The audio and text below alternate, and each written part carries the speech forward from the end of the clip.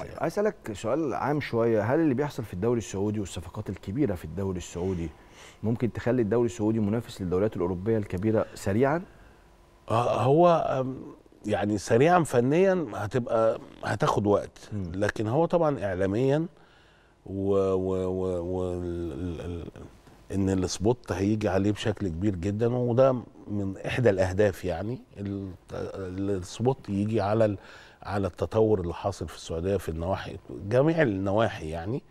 وهم بياخدوا في كل مجال شغل عاملينه شغل كبير جدا من ضمنها ال- ال- الدوري. لكن فنيا هياخد وقت طبعا عشان يعلى شوية لأنه نفس الوضع ده حصل في الدوري الإنجليزي لو تفتكر خد وقته عقبال ما استقطب بقى ابتدى الانجليز كان مقفول على انج- الدوري كان مقفول على انجلترا. وعلى ال- ال- اللي حواليها ويلز واسكتلندا و... وأيرلندا انت واخد بالك؟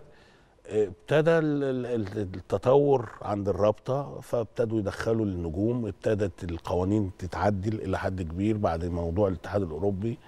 ابتدى استخدام كان الموضوع ماشي على اللعيبة وعلى المدربين خد بالك. فابتدت المدربين الغير الإنجليز وغير اسكتلنديين وغير ويلزيين آه، تغزو فحصل تطور كبير بس خد وقت, وقت. وقت. لحد ما بقى أحسن دوري في العالم. طيب.